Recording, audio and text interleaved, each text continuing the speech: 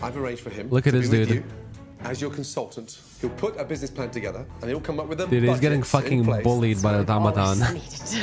A lot of times people are good at what they do, but running the business itself,